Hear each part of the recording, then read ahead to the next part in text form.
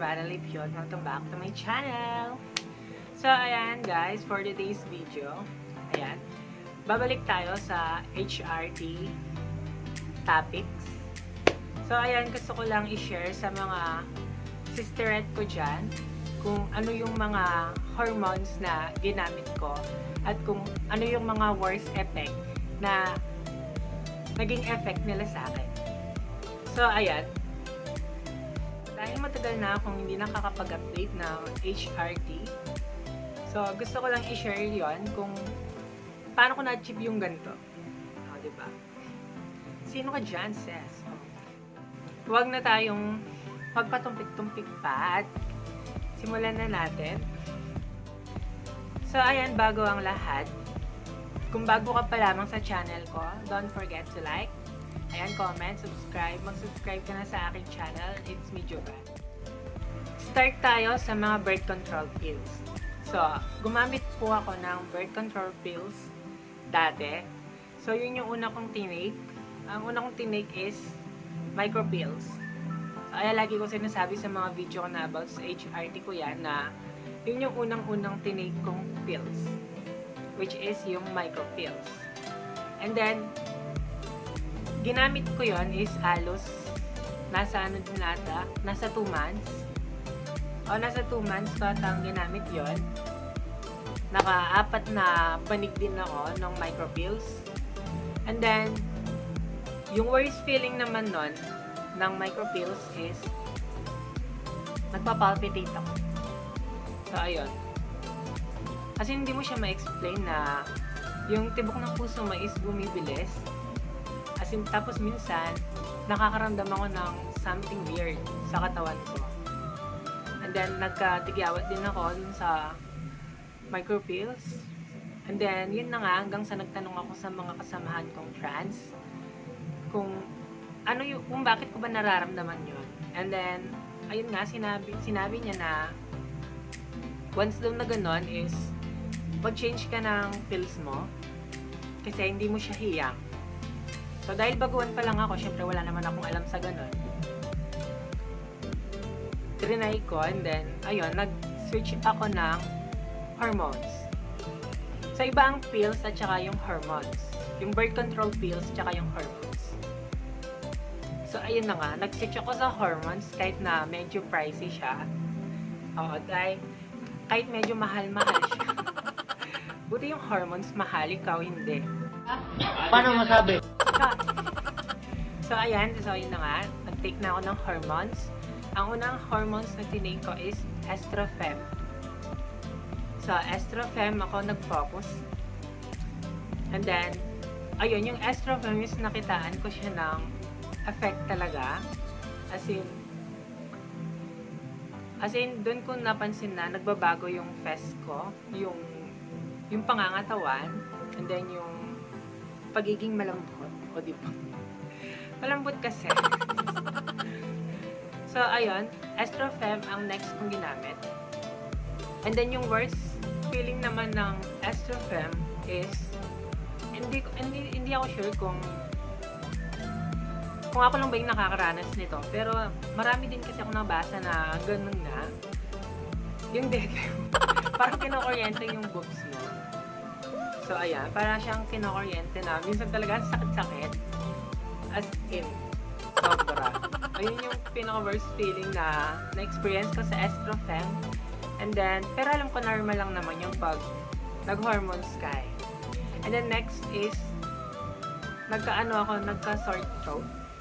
Or, pangangatin ng lalamunan. Basta masakit yung lalamunan ko.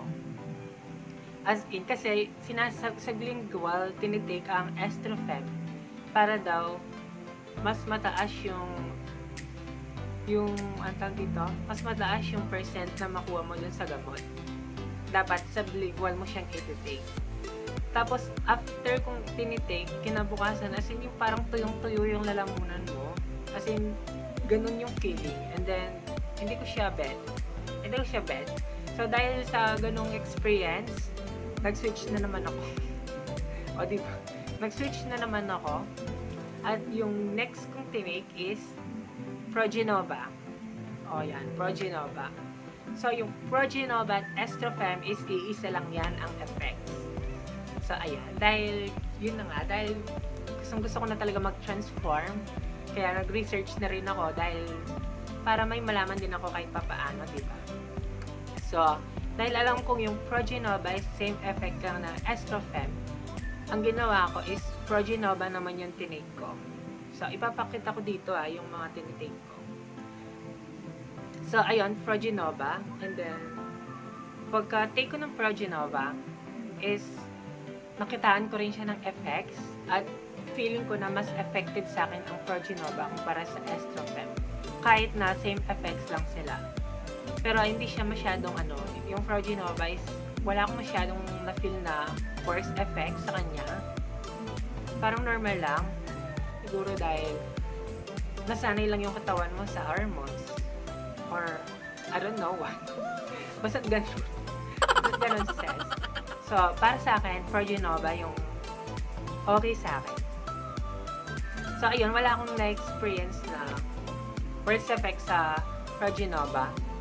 Paulit-ulit tayo, ba? So, ayan, sis. Hanggang ngayon, tuloy-tuloy na yung Progenova na tinitake ko. Dahil nga, feeling ko, mas bet ko siya. Yun na lang yung binibili ko. And then, dumating yung point na nawalan tayo ng badge. Dahil ma- mahal, pricey kasi talaga sila as in. Kaya pag nag-HRT ka, dapat talaga is, una is may work ka at dapat continuous lang eh. Eh dahil medyo mamahal talaga sila. Nakakaloka, di ba? Di ba nakakalokang maging babae? Pero worth it naman, no? Di ba? So dahil So dahil medyo pricey nga sila at medyo nalugi tayo ng konti. nalugi. So ang ginawa ko is nag-research ako ng pills na mura pero effective. So, ang unang nakita ko is Dian 35. So, marami din ako nakikitang good effects sa Dian 35 kahit na hindi siya advisable na gamitin dahil birth control pills nga siya. So, Dian 35 yung isa sa mga trinay ko. Kasi nga, magkano lang yun? Nasa 300 plus lang ata yung 380. O yung mga hormones is 500 pataas. Then, wala pang mancha. So, at ang nalaman ko na yung Diana 35 is meron na rin pala siyang male blocker na kasama. So, sabi ko, try ko nga to. Sabi, sabi trinay ko siya. Bumili ako. And then, ang nakakaloka doon, after kong one month na tinake, mas worse pa yung naramdaman ko sa Dian 35. Or siguro hindi ko lang talaga siya hiyang. Siguro hiyangan lang naman talaga yan, sabi nila. Merong mga gumagamit ng Dian 35 na pumifresh talaga. At meron din namang gumagamit na yung, anong tawag dito? Yung mga hindi iiyak. So, yung naramdaman ko sa Dian 35, which is, nakita ko yung sarili ko na nag-glow naman ako. Shush! Nag-glow ka, girl.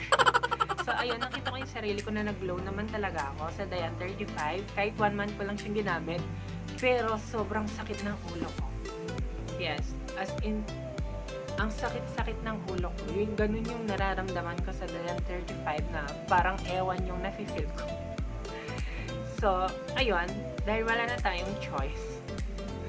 So, kaysa sa mura nga, pero nagsasuffer naman yung sarili mo, yung katawan mo, di ba parang ang pangit din naman.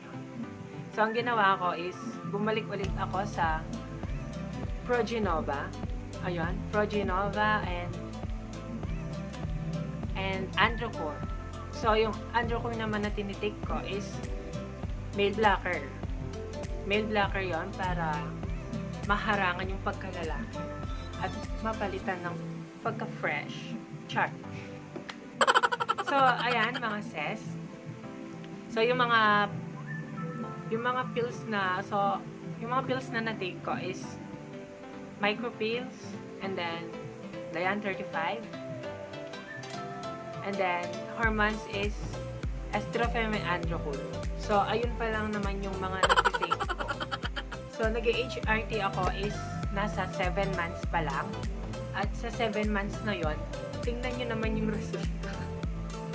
diba? Hindi mo expect, diba? Kahit ako hindi ko na-expect kasi marami akong nababasa na makikita mo yung resulta is almost a year. And nakita ko yung resulta is a month lang. Hmm, Di ba? Kaya siguro is nakadepende yan sa sa pangangatawan mo. Kung hiyang mo siya and then magbo-blooming ka. Kung hindi mo siya hiyang, talagang matatagalan. Pero syempre dapat laban lang. Trust the process, sabi nga nila. Hindi lahat nakukuha mo sa madalian. Hindi porket uminom ka ng 10 pills, paggising mo, babae ka na. Walang ganun. so mag mag-aantay ka talaga ng araw para sa'yo. para sa'yo. So, ayan. So, ayan mga sis. Yun nga yung male blocker na tinitake ko is Androcur. So, yung pag-take ko ng Androcur is 25 mg a day. So, alam ko yun yung yung pinakamababang dosage na pwede mong i-take. Pero yung gina- pero, pero kasing gumagawa din ng 50 mg every 3 days or 4 days. Pero akong ginagawa ko is 25 mg lang. A day yon. So, ayan mga day, ayun lang naman yung mga tinitake kong pills. At yung mga natake ko pa lang sa pag-HRT ko. So, ayan, baguhan pa lang din ako sa HRT SES. Kaya, wag sumuko para sa ekonomiya. Char. Pumasok ekonomiya? So, para sa bayan. so, ayan, SES. Gusto ko rin itry sa next is yung mga injectable. Pero hindi kasi marunong mag-self-inject. At wala, wala dito banda sa amin yung ano, yung mga clinic na pwede kang magpa-inject, ganun. So, ayan, comment down below kung ano yung pwede. Kung natatakot kasi ako mag-self-inject, baka just baka ano mangyari sa akin. Pero, syempre, tingnan mo, oral pills pa lang is meron na, di ba? Tingnan mo yung mga effects sa akin. Di ba? Sino ka dyan? So, sa 7 months kung pagtitik ng HRT, o, di ba? Hindi mo talaga akalain na, wow, ikaw yan. What? So, ayan, sis. Kung magtitig ka ng HRT, so, dapat sigurado ka talaga. ah. Dapat buwang decision mo. And then, kang mag-take ng HRT is para mapansin ka lang ng mga lalaki. Hindi dapat ganun yung ano. Dapat nag-HRT tayo is para sa sarili natin. So, ayun naman yung para sa akin. Nag-take ako ng HRT is para sa sarili ko talaga. Hindi naman para mapansin ako ng iba o para mahalin ako ng iba. Dahil una sa lahat, may jowa ako. Hindi pa ako nagtitake ng HRT, may jowa na ako. So, ayun, kaya nag-decide ako mag-take ng HRT para syempre para sa sarili ko rin. So, ayan mga sis. I-share nyo din yung HRT journey nyo. So, comment down lang kayo kung ano din yung mga naging HRT journey at mga worst effect kung same feeling ba tayo. So, kung pareho ba tayo ng nararamdaman, kung pareho ba tayo ng tinitake. So, ayan. Laban lang tayo mga sis. So, ayan, hanggang dito na lamang ang video ito. Don't forget to like, comment, share, and also subscribe to my channel.